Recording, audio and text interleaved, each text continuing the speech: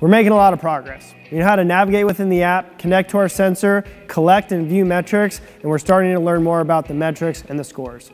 Here we're gonna show you how easy it is to record video with the Blast app and see your swing. It's as easy as pressing the video record button and pressing record. We can take one continuous video of the hitter and the app will automatically clip each swing into its own video. Once you're done, press stop record and you'll find your videos in the swings tab. Here, we'll start taking a look at the videos so we can see the metrics in your swing. Let's take a look at video one. Video one has a positive attack angle. We can see here that the barrel is traveling upwards at the ball at impact. Now, let's take a look at video two. Video two has a negative attack angle, and we can see that the barrel is moving downwards towards the ball at impact.